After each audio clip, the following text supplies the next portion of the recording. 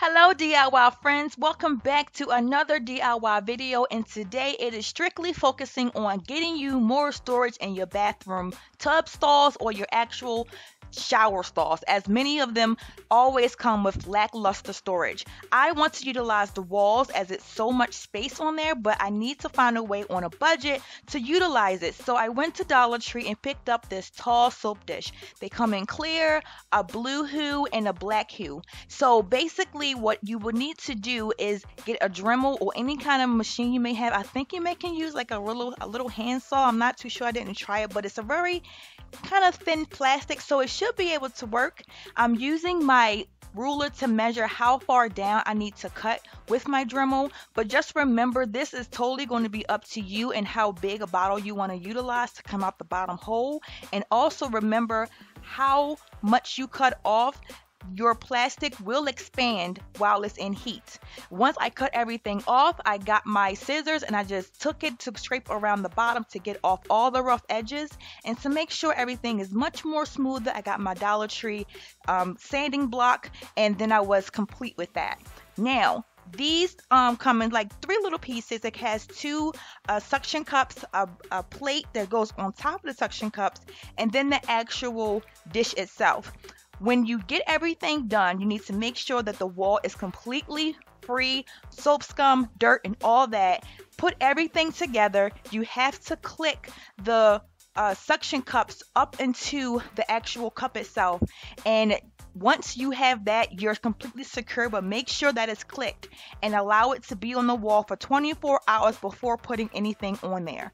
Now I'm just showing you some different type of bottles that can be utilized for this new wall storage.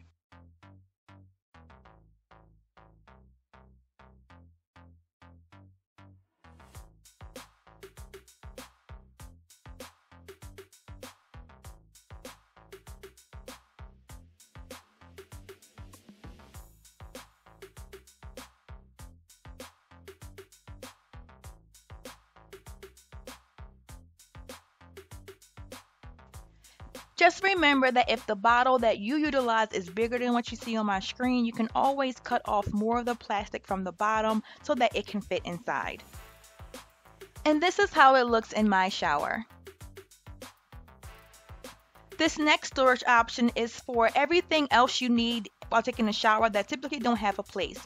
I'm using Dollar Tree heavy duty hooks and these laundry mesh bags that are perfect. They can go into the washing machine and also in the dryer. Want to make sure that my wall is completely clean and applying these hooks take a little bit of skill but just make sure that when you are putting them onto the wall to apply pressure to the center like I am doing and then move the hook from the top to the bottom give it a little tug make sure it's secure then you're going to uh, put the actual mesh bag onto the hooks and they have these little holes but it will definitely go over it slide it on down and I am using this inside of my children's bathroom because their toys are always somewhere. They're wet, they're soggy. So leave them in, in this bag that is breathable, allows me to no longer have to worry about that. This is the quickest, easiest, and most cost efficient way to store your children's bathroom toys.